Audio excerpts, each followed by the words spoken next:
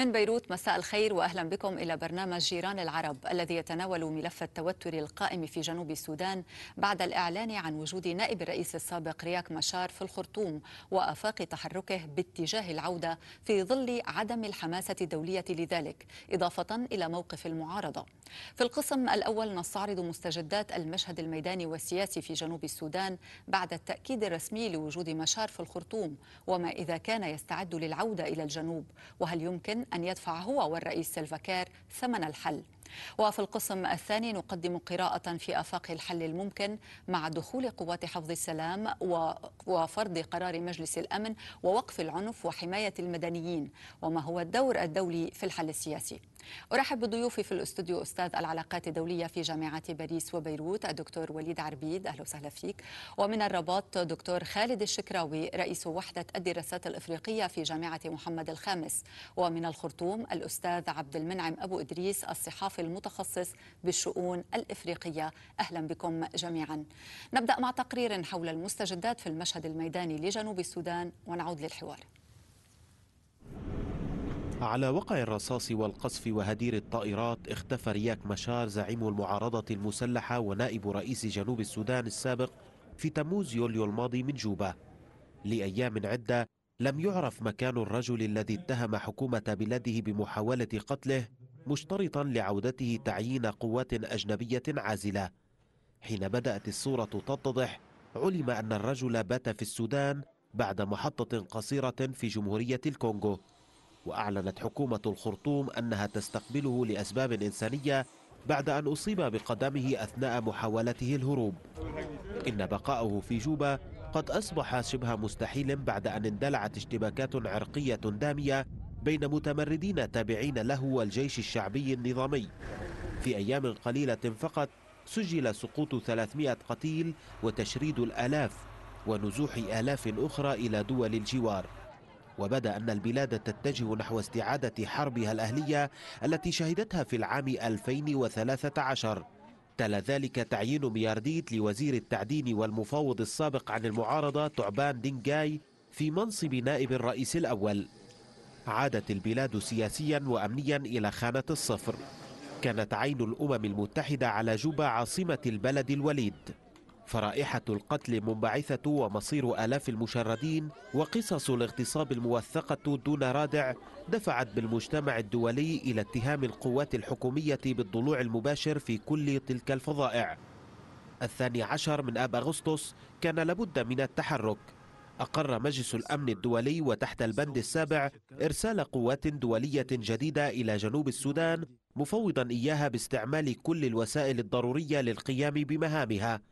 رفضت حكومة جوبا القرار لكن بعد التلويح بحظر الأسلحة على البلاد أذعن سلفاكير وستكون بلاده على موعد مع أربعة آلاف جندي دولي يضافون إلى قوات أممية قوامها 12 ألف جندي موجودين في البلاد. دكتور وليد اسمح لي اني أنتقل مباشرة إلى الخرطوم وأبدأ مع أستاذ عبد المنعم. يعني أستاذ عبد المنعم اليوم رياك مشار موجود في الخرطوم. هل هو موجود للتحضيرات والاستعدادات للعودة لجنوب السودان أم هو موجود للتحضيرات للخروج من المشهد السياسي؟ وجود الدكتور رياك مشار بالخرطوم يبدو مشهد وجوده معتما للغاية. فعند الإعلان عن وجوده أعلنت الحركة التي ينتمي إليها أن الدكتور رياك مشار سيكون موجودا في الخرطوم لفترة مؤقتة وسيقوم ببعض الأنشطة الرسمية في مقابلة رسميين سودانيين ثم ينتقل إلى دول الإيجاد ليلتقي بقيادات دول الإيجاد لبحث آفاق تنفيذ اتفاق سلام جنوب السودان.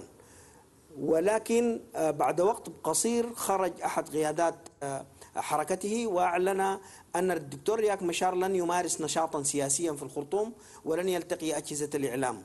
ويبدو أن حتى الحالة الصحية للدكتور رياك مشار لا أحد لديه معلومات تفصيلية حولها لأنه عقب خروجه بالمستشفى لم يظهر للعلن نهائيا إنما لقاءات متقطعة مع بعض من قيادات حركته. وأعلن اليوم أن المتحدث باسم حركته سيصل إلى الخرطوم غدا للقاء الدكتور رياك مشار. آه، فيبدو أنه مشهد الدكتور رياك مشار هل سيعود للحركة السياسية؟ هل أنه آه، هي بداية لتخليه واعتزاله العمل السياسي؟ يبدو أن الأمر معتم للغاية ولكن بعض الإشارات التي صدرت من المبعوث الأمريكي لدولتي جنوب السودان والسودان من أن ليس من الحكمة أن يعود الدكتور رياك مشار إلى جوبا أشارت إلى أن للمؤشرات لمستقبل الدكتور رياك مشار في الواقع السياسي في جنوب السودان. كما أن السيد تعبان دينغ النائب رئيس دولة جنوب السودان الذي خلف الدكتور رياك مشار في موقعه بدأ يحصل على بعض الاعترافات من بعض الدول من خلال أنه اليوم سافر إلى دولة أديس أبابا للالتقاء برسميين هناك وليبحث آه، آفاق تنفيذ اتفاق السلام الذي وقعه وقعته حركة آه، وقعه الدكتور ياك مشار مع رئيس دولة جنوب سلفاكير. يعني يعني تعني بذلك أخذ دور رياك مشار وبدأ يمارس دوره وكأنه هو النائب الرئيس الفعلي اليوم حاليا ويقوم بهذه الاتصالات والتواصل ويمكن الاستمرار بالاتفاق الذي جرى في العام 2015 ولكن ليس بوجود رياك مشار وإنما بوجود دينغ. هو أعلن هو أعلن أنه هو قام أو أعلن أنه يريد أن ينفذ اتفاق السلام وقال إن الاتفاق السلام لم يوقع مع الدكتور ياك مشار بصورة شخصية وإنما وقع مع الحركة وهو يمثل الحركة باعتبار أنه كان نائب رئيس آه، ياك مشار وكان هو يمثل القائد العسكري للحركة كما أنه في ظل وجود رياك مشار بالخرطوم قام تعبان دينغ بزيارة للخرطوم والتقى بمسؤولين من الخرطوم وأعلن عن اتفاقات بينه وبين المسؤولين من الخرطوم. فهو وقبل الخرطوم زار نيروبي آه، والتقى بمسؤولين في كينيا. فتعبان دينج يحاول أن يقوم بدوره منذ البداية وأنه يريد أن ينفذ اتفاق آه، السلام. بل أنه أحيانا يطلق إشارات أنه ليس من الح... لا حاجة لعودة رياك مشار لجوبا وأن الدور السياسي لرياك مشار قد انتهى. يعني آه، هل برأيك هناك آه، تواطؤ دولي آه، على رياك مشار بأن دوره انتهى حاليا لم يعد بحاجة إليه؟ وما هو موقف المعارضة سيكون يعني في هذه الخطوة؟ على الرغم من أن الوسيط الأساسي في الاتفاق السلام اللي هي منظمة الإيجاد منظمة دول شرق أفريقيا للتنمية أعلنت عندما تم عزل رياك مشار وتعيين تعبان دينغ أنها لا توافق على هذا وأن الشخص المعتمد لديها رياك مشار ولكنها بعد ذلك صمتت بل إن بعض دولها آه، التقت تعبان دينغ بوصفه نائبا للرئيس ثم خرج التصريح الذي صدر من مبعوث الولايات المتحدة الأمريكية لدولتي السودان آه، قطع بأن آه، هناك جهات دولية تريد لرياك مشار أن ينزوي وأن ينتهي دوره السياسي إلى هنا. هذا واضح جدا أن جهات دولية وإقليمية تريد لرياك مشار أن ينهي آه، حركته مستقبله السياسي إلى إلى هذا الحد. نعم. دكتور وليد يعني ما رأيك بالكلام الذي آه، يطلقه أستاذ عبد المنعم؟ وهل فعليا الولايات المتحدة الأمريكية يعني قررت أنه هناك انتهاء لدور مشار حاليا؟ يعني في في وجوده في في خرطوم في الخرطوم. يعني نستطيع القول بأن مشار يعني يتباحث سريا مع مع يعني الرئاسه الأول الحكومة السودانية لأن السودان الخرطوم تبقى لاعبا اساسيا في الأزمة جنوب السودان.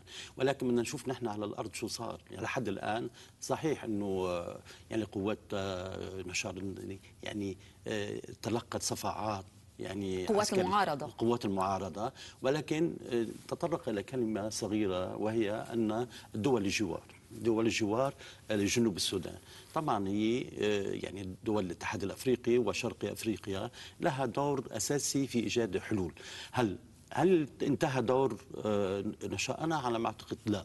اليوم يرتد إلى العمق الاستراتيجي اللي هو من الممكن أن يكون الخرطوم هو عمق الاستراتيجي؟ طبعا طبعا في بالخرطوم لأنه حين انسلخ جنوب السودان عن السودان يعني تبقى يعني شمال السودان العمق الاستراتيجي لأي تفاعلات يعني تناقضات سياسية وعسكرية ولكن هل تستطيع الخرطوم مواجهة هكذا قرار إذا كان قرارا دوليا بانتهاء دوره حاليا؟ يعني إذا أرادت الولايات المتحدة الأمريكية، يعني أنت بتعرفي هلأ جنوب السودان؟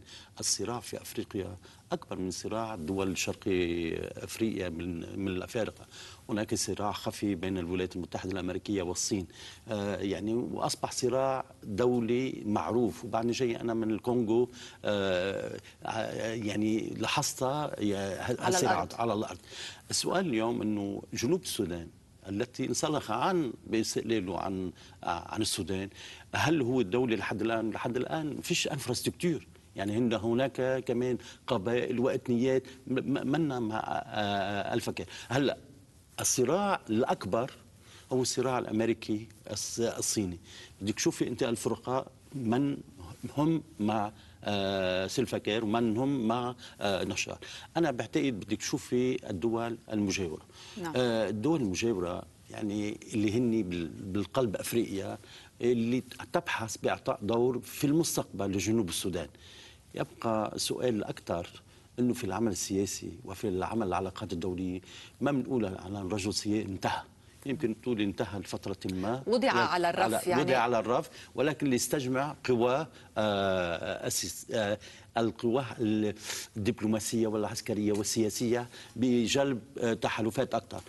يعني تكلم الأخ بالخرطوم عن أنه الذي عين محل نشر يقوم بجولات. يقوم بجولات. ولكن هل اعترفت هذه الدول؟ نحن بنعرف أنه أديس أبابا هي مقر الاتحاد الأفريقي وأديس أبابا هي لاعب أساسي يعني بالأزمات يعني شرق الأفريقيا لذلك بدك تشوف أنه كيف العمل السياسي بالوقت الحاضر.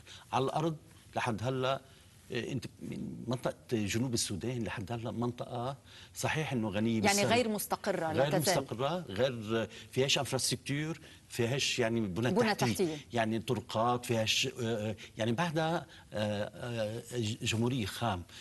لماذا تم يعني استقلالها؟ هل هناك مخطط دولي كان محطوط لهذه الدولة جنوب أفريقيا أن تكون يعني دولة أكسليير بين بعض الدول خاصة أنه تحت المجهر اليوم مجهر دولي نحن نعم. بنشوف أنه المبعوث الأمريكي عم بيلعب دور كثير كثير إلى أهميته بس هناك فرقاء دوليين آخرين غير الولايات المتحدة لهم دور الصين التي تشهد اليوم هجوم يعني زحفا بديش أقول هجوما زحفا على أفريقيا والصراع بعد فترة من الزمن. سيكون في أفريقيا ليس صراعا اوروبيا سوفيتيا بل سيكون امريكيا صينيا على ثروات. ونحن عم نشوف شو آه، الصين قديش بلشت آه، تساعد الدول الأفريقية من السودان إلى جنوب السودان إلى حتى بعض الدول الأفريقية اللي قلت لك نعم. أنا بالكونغو الديمقراطيه أنتقل مجددا إلى الرباط آه، دكتور خالد يعني هل توافق فعليا على أنه الدور الأساسي لمشار أصبح يعني هامشيا لم يعد له دور أساسي في آه، جنوب السودان وما هو الثمن الذي آه، آه، تم دفعه مقابل ذلك وهل فعليا في قرار دولي بتحجيم مشار وبإلغاء دوره في المرحلة المقبلة لصالح من؟ هل هو المنتصر الرئيس سلفاكير حالياً؟ أعتقد بالفعل يعني هذه الفكرة قد يجانبها الكثير من الصواب لكن هناك نقاش حاد في هذا الشأن والأمر جد معقد. أولا من الصعب جدا تنحية مشار عن المشهد السياسي الجنوب السوداني. لسببين أساسيين. السبب الأول وهو ريادته السياسية ووضعه كمثقف في إطار حركة الاستقلال جنوب السودان. ثانيا هو ارتباطه بقبائل النوير وبالتالي هناك ارتباطات أسرية وقبلية يصعب فكها في هذا الإطار. نعم هناك نقاش في هذا الإطار حول تنحيته على أساس أن المشكل الشخصي بين مشار وسلفاكير يعد أيضا جزءا كبيرا من المعضلة. المشكل مشكل سياسي مشكل تقسيم ثروات مشكل تقسيم المجال السياسي والتحكم لكن هو أيضا مشكل شخصي ما بين شخصين مناضل عسكري غير مثقف هو الرئيس ومثقف وإيديولوجي ومرتبط بمجموعة من الشبكات الدولية هو سلفاكير أعتقد بأن هذا نوعا ما مقترح أمريكي تحاول أن تفرضه في هذا النطاق بريادة بعض الدول الإفريقية. المشكل الثاني هو الدول الإفريقية والدول المجاورة في حد ذاتها. ليس من مصلحة السودان مثلا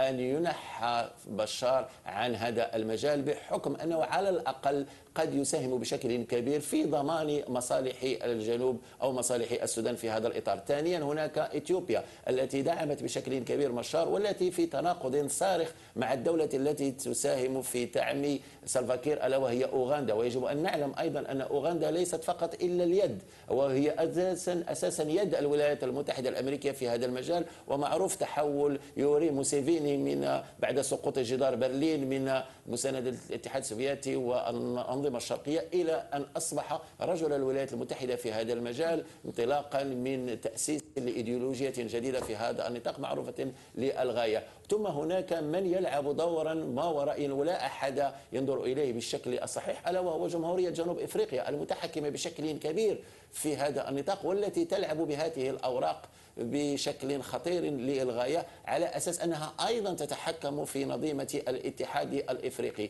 لذلك أعتقد بأن الأمر جد معقد. نعم هناك محاولة لإبعاد مشار. هل هذا سوف يصمد أمام مجموعة تناقضات داخل الحركة مشار في حد ذاتها وداخل المجال الجنوب السوداني؟ وهل سيصمد أمام تناقضات والمصالح الاستراتيجية لمختلف الدول المحيطة؟ لحد الآن لدينا ثلاث دول محيطة متدخلة بشكل واضح السودان إثيوبيا وأوغندا هناك دور ما ورائي غير واضح وغير مفهوم لكينيا وهناك بالضرورة مثلا جنوب آه، الكونغو الديمقراطية منشغلة في مشاكلها في شرق كيفو وجمهورية إفريقيا الوسطى أيضا لها مشاكلها الخاصة على أساس أن المجال الصراع في جنوب السودان لا يمس كثيرا هاتين الدولتين في حين يمس بشكل كبير السودان وإثيوبيا وكينيا. وأوغندا بحكم أنه مرتبط أساسا بالمناطق الشرقية والوسطية أكثر من المناطق الغربية، لكن المسألة جد معقدة، هناك فعلا ما لا أتفق معه مع الأخ من بيروت. هو دور الصين، لا في في في في في تقديري المتواضع، أعتقد بأن الصين سوف تدخل في مجموع التوافقات التي قد تضمن لها الاستفادة من الرعي الاقتصادي في هذا المجال، ودليل ذلك هو موافقتها على استقلال جنوب السودان رغم المصالح الكبرى التي كانت لها في حقول البترول آنذاك في هذه المنطقة. نظرا لأنها دخلت في توافقات مع نظيمة جنوب السودان ونفس الشيء نشاهده حتى في الكونغو الديمقراطية إلى غير ذلك. أعتقد بأنه من الخطأ على الدول الإفريقية وأيضا الدول العربية أن تعتقد في أن الصين سوف تدافع عنها وعن أنظمتها انطلاقا من دفاع عن مصالحها والصين اقتصاديا في الحقيقة مرتبطة بالاقتصاد الأمريكي بشكل كبير وفي كثير من الأحيان المصالح الاقتصادية هناك ارتباطات وهناك مجال للصراع أقوى هو مجال الشرق الآسيوي ومجال أزيان. وأعتقد بأنه في هذا الإطار الصين سوف تدخل في توافقات مع الولايات المتحدة الأمريكية لتصفية الوضع وتقسيم الرعي الاقتصادي في هذا المجال. دكتور خالد يعني ما هي عوامل القوة وعوامل الضعف لمشار حاليا؟ وهل بإمكان الرئيس سلفاكير الاستمرار بهذه الخطوة وكأن شيئا لم يكن ما الذي يمكن أن يقدمه للمعارضة التي إلى جانب مشار في جنوب السودان؟ يجب أن نعلم بأن هذه التشكيلات السياسية في جنوب السودان نعم هي تشكيلات سياسية أيديولوجية وعسكرية أيضا لها تاريخ مبني على أساس الصراع ضد الخرطوم وليس على أسس أخرى في حين أنهم كلهم لعبوا دورا معينا أيام آه، وحدة السودان على أساس أنهم سودانيين سابقين. المسألة الثانية أن هناك صراعات شخصية ما بين الحركتين ما بين سلفاكير ومشار وأيضا هناك صراعات شخصية قوية جدا داخل كل نظيمة على حدة. وبالتالي هناك تصارع على المناصب والوصول إلى التسلط والتحكم بشكل كبير. المسألة الثالثة وهو الارتباط. غير الحقيقي ولكن الذي يعتقد فيه بشكل كبير ألا وهو الانتماء القبلي، نعم الانتماء القبلي هو عملية آه، موضوعة بالضرورة انطلاقا من المرحلة الاستعمارية لها بنى تاريخية لكن في الحقيقة هي غير الواقع المبني، لكن يعتقد فيها وبإمكان تحريكها وقد تصبح جد خطيرة ألا وهي الانتماء الإثني خاصة الصراع ما بين النوير والدينكا والذي سوف يصبح حقيقة وقد علمنا ذلك منذ سنة 2013 و2015 حيث العملية العمليات العسكرية كانت أيضا ليس فقط ما بين عساكر وميليشيات في حد ذاتها ولكن كانت هناك عدة عمليات انتقامية وخروقات ضد حقوق الإنسان من هذه المجموعة وتلك. وبالتالي فالصراع حاليا في كثير من الأحيان ينتقل من صراع ما بين زعيمين وما بين حركتين سياسيتين إلى صراع ما بين مجموعتين اجتماعيتين أو قبليتين أو إثنيتين ألا وهي الدنكا والنوير. المسألة الأخرى وهي القوة التي يتوفر عليها آه، الرئيس سلفاكير. آه، نعم له قوة رمزية على مستوى أنه الرئيس المتحكم في هذا المجال وهو المخاطب الأساس بالنسبة للدول والمدعم بشكل قوي من دول قوية في الميدان ألا وهي أوغندا وجنوب إفريقيا بالأساس ومن ورائهم الولايات المتحدة الأمريكية. وهذا يضعف موقف سلفاكير بشكل كبير. المسألة الأخرى وهي القوة العسكرية. نعم. حاليا ظهر بشكل كبير تفوق سلفاكير عسكريا على آه، مشار خاصة وأنه في الأيام الأخيرة قدرته على استعمال الأسلحة الثقيلة الدبابات اقتناؤه لطائرات الهليكوبتر. هذا سيمكنه بشكل وأيضا ميليشيات جديدة لا أحد يعرف من أين أتت. ثم الدعم العسكري الذي كان يتلقاه بشكل واضح من لدن الجيش الأوغندي. نعم في هذه الأيام الأخيرة صعب ذلك بحكم وهو ما كشفت عنه تقارير الأمم المتحدة طبعا بالموضوع السلاح يعني دكتور خالد رح انتقل مجددا إلى الخرطوم. وأستاذ عبد المنعم يعني بالنسبة لمشار ما هو مستقبل مشار في ظل كل هذه الظروف على الأرض؟ وبالتالي طبعا بالموضوع السلاح كما تحدث دكتور خالد وكذلك الأمم المتحدة نشرت تقريرا نقلته وكالة رويترز يتحدث عن دخول أسلحة إلى سلفاكير إلى داخل جنوب السودان. وبالتالي هذا السلاح سيستعمل هل سيستعمل للجيش الداخلي؟ وللحكومة أم سيستعمل ضد المعارضة الموجودة في الداخل؟ الواضح أن صفقة الأسلحة التي أعلن عنها عنها الأمم المتحدة وقام بها حكومة الرئيس سلفاكير واضح أن هذه الصفقة مقصود بها مقاتلة الحركة المعارضة لأن الآن دولة جنوب السودان صحيح لديها خلافات حدودية مع دولة السودان وصحيح في عام 2012 تقاتلت الدولتين على الحدود. لكن الآن الأوضاع مع السودان هادئة والآن العدو الوحيد الذي يواجه سلفكير هو المعارضة المسلحة التي يتزعمها رياك مشار ما حدث عقب أحداث يوليو التي حدثت في عاصمة دولة جنوب السودان جوبا أن حركة رياك مشار حدث فيها انشقاقا كبيرا. آه، أن تعبان دينغ الذي يشغل الآن منصب نائب الرئيس في دولة جنوب السودان معه مجموعة كبيرة من العسكريين ومن السياسيين اختارت أن لا تخرج مع رياك مشار واختارت أن تستمر في حلفها مع آه، سلفكير آه، لذلك الحركة حدث لها انقسام على المستوى العسكري وعلى المستوى السياسي وهذا ساهم في ضعافها بشكل كبير جدا ولعل الدليل الكبير على هذا الإضعاف آه، ما أعلنت عنه دولة الكونغو أول أمس من أن قوات الأمم المتحدة الموجودة في شرق الكونغو عثرت على 100 من جنود رياك مشار وهم في حالة آه، صحية سيئة جدا من جراء أنهم ساروا على الأقدام لفترات طويلة جدا في محاولة للهروب من آه، الهجوم الذي يتعرض إليه من قوات آه، سلفكير الأمر الثاني أن رياك مشار هو موجود الآن في الخرطوم وهو تاريخيا معروف أنه حليف الخرطوم بل يسمى الحليف الاستراتيجي للخرطوم لكن عندما قامت الخرطوم باستقبال تعبان دينغ وهو موجود داخل الخرطوم. وأعلنت الخرطوم رسميا أنها تستقبل تعبان دينغ بوصفه نائبا للرئيس. كان هذا إشارة إلى أنها على استعداد أن تتعامل مع الذي سيخلف رياك مشار وأنها آه، لا لا لن لن تقف كثيرا عند محطة آه، رياك مشار إذا حدث تبدلات في المسرح السياسي في دولة جنوب السودان. الواضح جدا واضح جدا. صحيح أن الدكتور رياك مشار وتعبان دينغ الاثنان ينتميان لاثنية النوير. والحرب في جنوب السودان منذ منذ أن اندلعت في عام 2013 صحيح بدأت بدا خلاف سياسي لكنها تحولت إلى قتال بين اثنيتي الدينكا والنوير. لكن كل منهم ينتمي لمجموعة من النوير. نظر نظرنا للنوير الوجود الأكبر لهم في منطقة تسمى أعالي النيل وهي منطقة متاخمة للسودان. نجد أن تعبان دينغ هو من مقاطعة تسمى ولاية الوحدة وهذه الوحدة هي منطقة إنتاج النفط في دولة جنوب السودان بشكل كبير جدا. بينما الدكتور رياك مشار ينتمي لمنطقة تسمى الناصر هي متاخمة للسودان وأثيوبيا. نعم. آه لذلك الواضح أن المسرح السياسي في جنوب السودان مقبل على تحولات.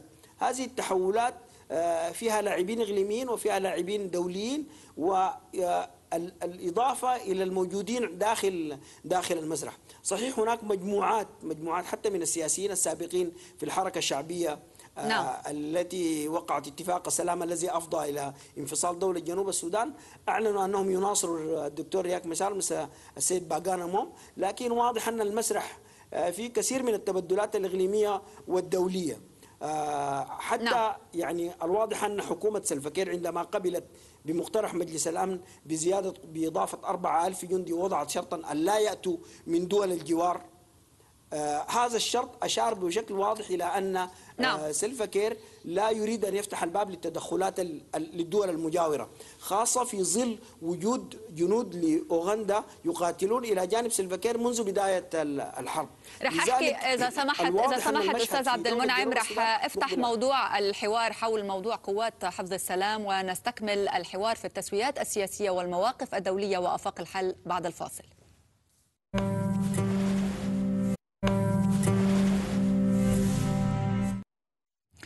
أهلا بكم من جديد في برنامج جيران العرب وأرحب مجددا بضيوفي في الاستوديو أستاذ العلاقات الدولية في جامعة باريس وبيروت الدكتور وليد عربيد ومن الرباط دكتور خالد الشكراوي رئيس وحدة الدراسات الإفريقية في جامعة محمد الخامس ومن الخرطوم الأستاذ عبد المنعم أبو إدريس الصحفي المتخصص بالشؤون الإفريقية.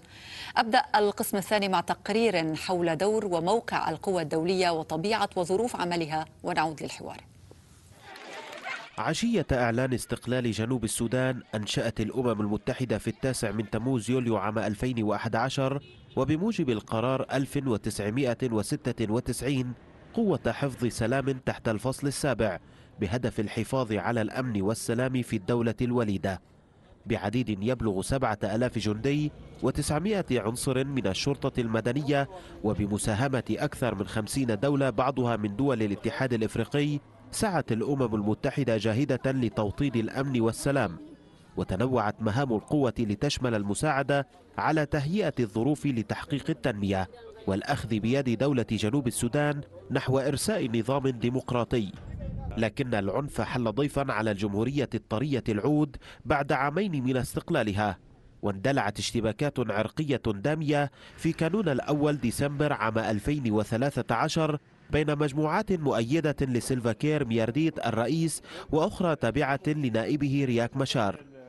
أمام هذا الواقع وجدت الأمم المتحدة نفسها مجبرة على تعزيز وجودها فرفعت عديد قوة حفظ السلام إلى 12 ألف جندي بموجب القرار الأممي 2132 الصادر عام 2013 ثم عدلت في مهامها عام 2014 بموجب القرار 2155 لتجعل من حماية المدنيين أولوية. عاد الاقتتال بين أنصار كير ومشار في تموز يوليو الماضي رغم اتفاق السلام الذي وقع سنة 2015 ومع تزايد عدد النازحين إلى دول الجوار وقتل طاول المدنيين والصحفيين ناهيك عن جرائم الاغتصاب الجماعي كانت أصوات النقد تعلو بوجه القوات الأممية وصفة إياها بالعاجزة أمام آلة القتل والاغتصاب. أقر مجلس الأمن الدولي في آب أغسطس الماضي وتحت الفصل السابع إرسال قوات دولية إضافية قوامها أربعة ألاف جندي إلى دولة جنوب السودان. قوة ستكون لها مخالب هذه المرة حيث سمحت لها الفقرة الرابعة من القرار باستخدام كافة الوسائل للاطلاع بمهامها وترخص لها فقرة أخرى باستخدام هذه الوسائل ضد أي جهة كانت وهو ما يعني استخدام القوة ضد القوات الحكومية. دكتور وليد يعني قوات حفظ السلام الدولية في البداية كان الرئيس سلفاكير لا يقبل بتعزيز موقع هذه القوات ومن ثم رأينا أنه قبل بذلك لا بل قبل بالقرار الذي صدر عن الإيجاد بموضوع قوات حماية المدنيين التي من دون تحديد طبعا الفترة الزمنية التي ستكون فيها في جنوب السودان.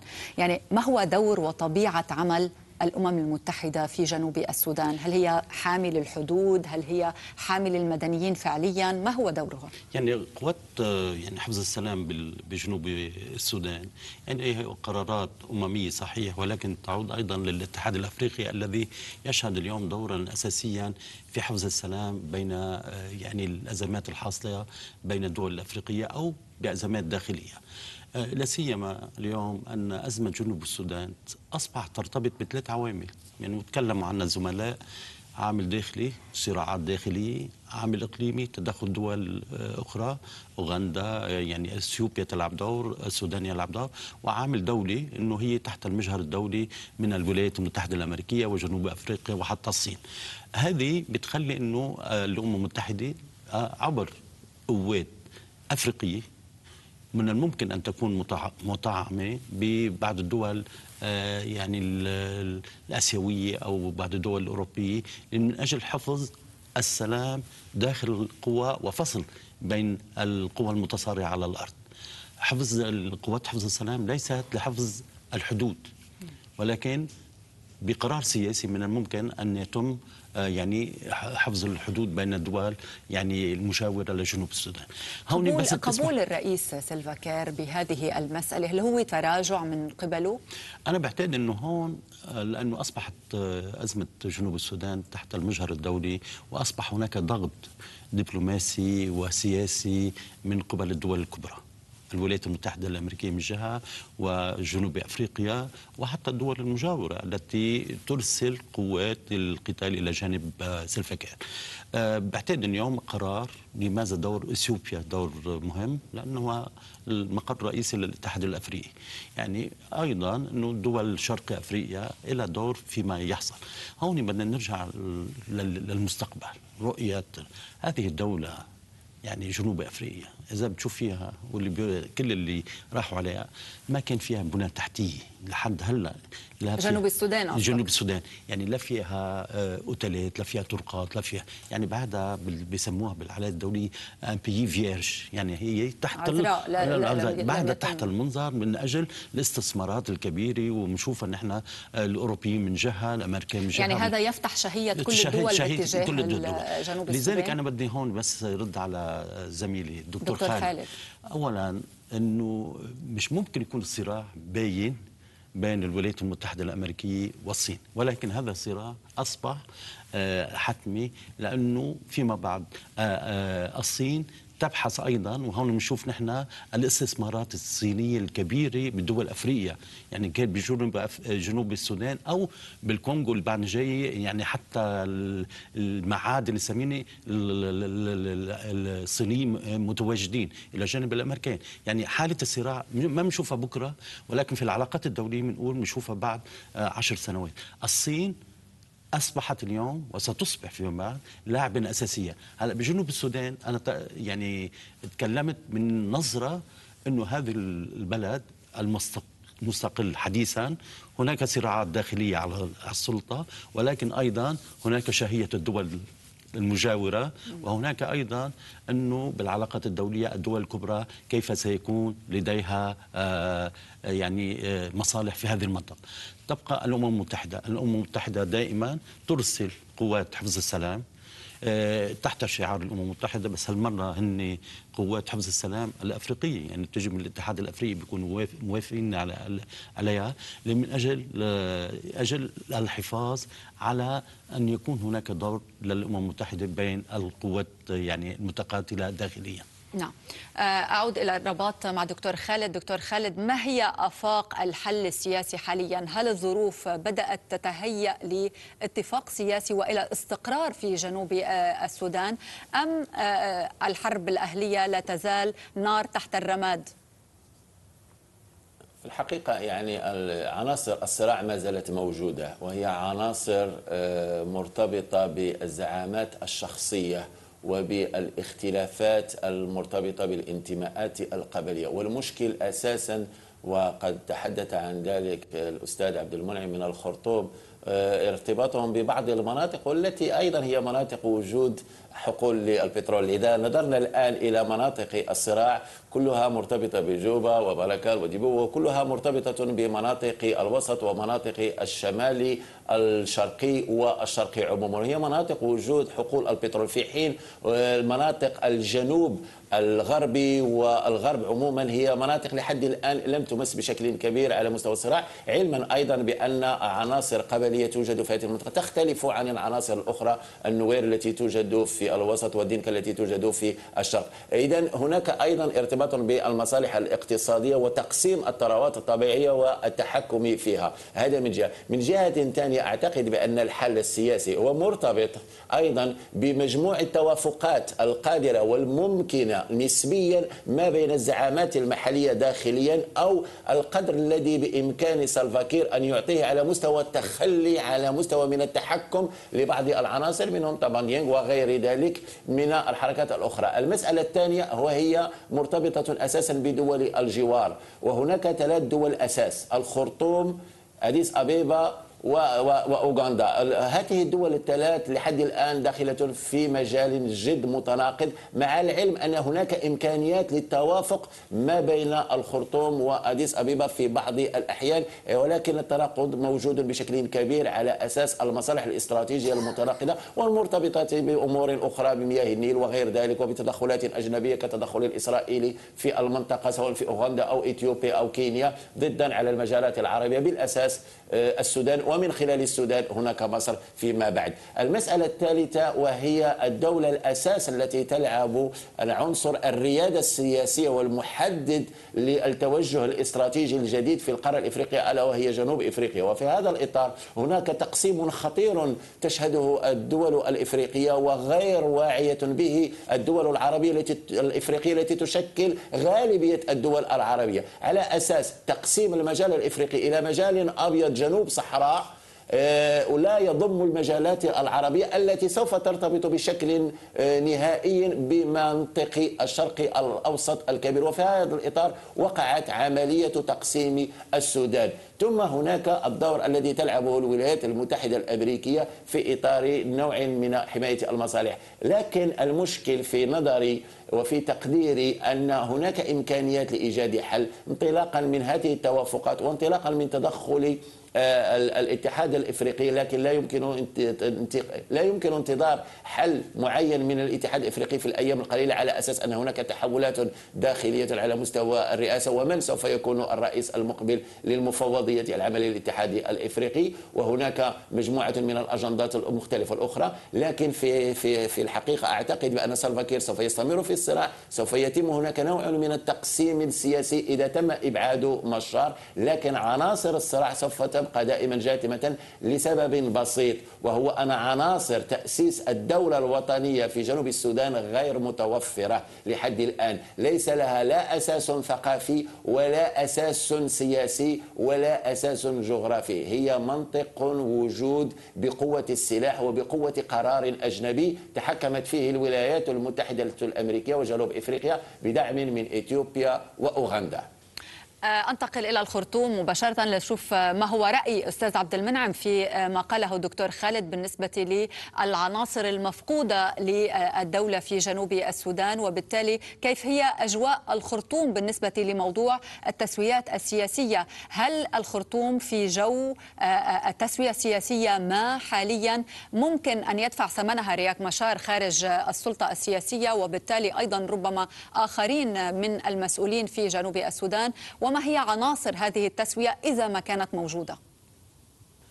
الخرطوم لاعب أساسي في قضية جنوب السودان. أي تسويات تتم بعيدا عن الخرطوم آه، ستكون غير لن يكتب لها النجاح باعتبار أن الخرطوم لديها خبرة ومعرفة وعلاقات ممتدة مع مجموعات كثيرة جدا داخل دولة جنوب السودان. و الحاكمين في جنوب في السودان أو عموما يعرفون جنوب السودان بتفصيلاته وتحالفاته أكثر من أي مجموعة آه، أخرى. الواضح الواضح أن الخرطوم جزء من التسوية التي يراد لها أن تحدث في جنوب السودان. لكن في اعتقادي أنا أتفق مع الدكتور خالد في أن حتى لو تم التسوية محاولة لفرض التسوية المؤشرات الحرب الأهلية ما زالت موجودة في دولة جنوب السودان. الدليل على ذلك أن اتفاق السلام الذي تم فرضه في عام 2015 تم فرضه فرضا على سلفكير ورياك مشار وتوقعا بالضغوط الدولية والإقليمية. وبعد وعندما عادا إلى جوبا بدأ في التلكف في تنفيذ الاتفاق وتأخر تنفيذ الاتفاق لعام كامل. ثم بعد ذلك بعد فترة قليلة جدا من وصول رياك مشار إلى جوبا اندلعت الحرب مرة أخرى. ووصلنا إلى الحالة الموجودة الآن. آه، لذلك أي محاولة لفرض حل على جنوب السودان بتدخلات دولية برؤى إقليمية أو دولية لن يكتب لها النجاح. آه، لا بد للحل أن يصطحب معه التكوين الاجتماعي والثقافي لجنوب السودان والتناقضات السياسية والعسكرية الموجودة في جنوب السودان. الآن غير المعارضة المعلنة لرياك مشار هناك مجموعات ميليشيات متعددة تحمل السلاح وهي الآن تقف على الحياد ولا مع رياك مشار ولا مع سلفكير لكنها في أي لحظة يمكن أن يحدث لها تحول وتكون لاعب أساسي في حالة عدم الاستقرار في دولة جنوب السودان. آه، لذلك الحل لا بد أن يشارك فيه لا بد أن الحل لا بد أن يشارك فيه عناصر من دولة جنوب السودان ولا بد أن يضعوا عناصر من دولة جنوب السودان أي محاولة لفرض الحل من الخارج سواء كان من الولايات المتحدة الأمريكية أو من الإيجاد أو من الصين أو من أي دولة كانت أو من جنوب أفريقيا لن يكتب له النجاح. آه و أريد فقط أن, أن, أن, أن نشير إلى نقطة ذكرها الدكتور وليد في أن الصين الصين صحيح هي أكبر مستثمر في مجال النفط في دولة جنوب السودان. والصين في جنوب السودان غير استثمارات الاقتصادية بدأت تلعب بعض الأدوار السياسية. الصين الآن لديها قوات من ضمن قوات حفظ السلام الاثنى عشر ألف الموجودين أصلا منذ استغلال دولة جنوب السودان. الصين حاولت التوسط ما بين رياك مشار وسلفكير عدة مرات. الصين آه، في يوليو في يونيو الماضي استضافت لجنة مشتركة ما بين في الخرطوم ترأست لجنة مشتركة ما بين السودان وجنوب السودان في محاولة لحل الخلافات الحدودية ما بين جنوب السودان. فالآن يعني كثير من الدول تحاول أن تلعب أدوارا لكن هذا هذه هذه المحاولات الإقليمية والدولية لن يكتب لها النجاح تاسيسا على التجربة السابقة التي أفضت إلى توقيع اتفاق السلام الذي سرعان ما انهار. يعني آه، برأيك أستاذ عبد المنعم أن اتفاق السلام انتهى وتم تجاوزه حاليا مع ذهاب رياك مشار وبالتالي نحن بحاجة إلى صياغة جديدة لاتفاق سلام جديد؟ اتفاق السلام حتى لو لم يذهب. اتفاق السلام الآن في حالة من الضعف والهوان ويمكن أن ينهار جنوب السودان ينزلق نحو الحرب الأهلية في أي وقت. الآن في مجموعات آه، عسكرية تناصر الدكتور رياك مشار موجودة داخل جنوب السودان آه، متخندقة في أماكنها تسيطر على أسلحتها. الآن الخريطة السياسية في جنوب السودان متحولة. أمس هناك نائب حاكم لمنطقة كبرى في جنوب السودان كان يتبع للرئيس الفكير من من سنوات طويلة أعلن انسلاخه من من سلفكير وانضمامه لرياك مشار. سياسي كبير أيضا من جنوب السودان وظل هو مناصر لسلفكير لسنوات طويلة أعلن انسلاخه من سلفكير وانضمامه لرياك مشار. هذا يشير كله إلى أن الحاله نعاني من حالة سيولة. وحالة هذه السيولة يمكن أن تنزلق نحو حرب أهلية. لذلك لا بد من إيجاد معادلة معادلة غي غي معادلة تصطحب مع بعض الإيجابيات التي وردت في اتفاق السلام الذي وقف عام 2015 من الذي سيفرض هذه المعادلة؟ من الذي سيفرض هذه المعادلة؟ أي محاولة للفرض؟ أنا لا أنا لا أنا لا أعتقد أن أي محاولة لفرض هذه المعادلة آه، ستفشل.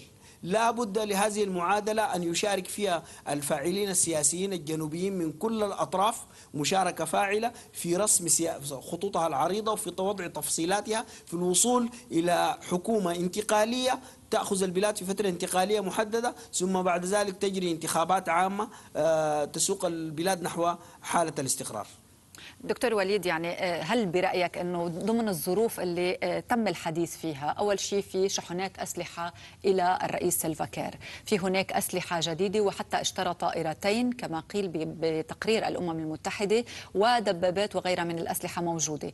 وفي آه، يعني جماعة رياك مشار لا يزالوا ناطرين. في عدم استقرار بجنوب السودان نار تحت الرماد بالنسبة للحروب. وبنفس الوقت يعني حديث عن أنه كأنه هناك تسويات سياسية أو حل سياسي ممكن أن يأتي. مين اللي ممكن يفرض هذا الحل؟ من هي الدول خارج إطار الدول الأفريقية اللي موجودة إن كان أوغندا والخرطوم وأديس أبابا؟ ممكن أن يلعب دورا أساسيا في فرض أي تسوية سياسية. يعني كما ذكرت أنا من- إنه ثلاث عوامل أساسية داخلي وإقليمي ودولي, ودولي. واليوم آه، الرئيس الفكير يعني المعروف عنه إنه ما كانش ال- كان قائد عسكري ولكن بشخصيته المتناقضة يعني بذكرنا بالرئيس الروسي يلتسن يعني كيف هيدي بتخلي إنه ما في ثقة ب- في أحسن باقي الاتجاهات نحو إيجاد مثل ما ذكر ال- الاستاذ بالخرطوم عبد المنعم. عبد المنعم إنه هناك يعني اعاده لأنه بعد في ناس مترقبين للوضع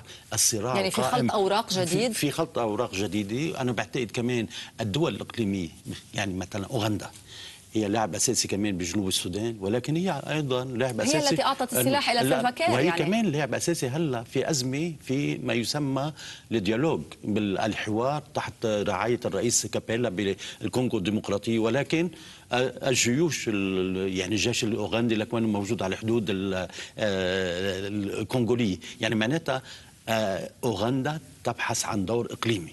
اليوم الدور الإقليمي يعني صارت جنوب السودان تحت كماشة. إثيوبيا من ميل والسودان من ميل واوغندا آه، من ميل. هيك التسوية بدها تكون تحت المجهر الدولي. المجهر الدولي يعني معناتها إنه أفريقيا.